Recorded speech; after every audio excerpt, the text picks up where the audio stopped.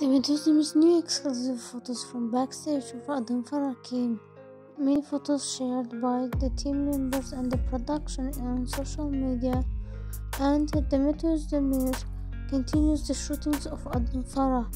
Drama's day of broadcasting changed to the Saturday.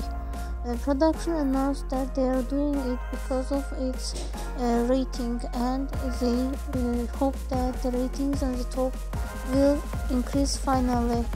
Uh, despite that drama had sold to many foreign countries and broadcasted in many Arabic as well in Russian country and uh, right now drama is very popular and have bought till 26 episodes. Was not so popular in Turkey. Uh, as well, the Özdemir and Engin partnership also liked by many foreign fans.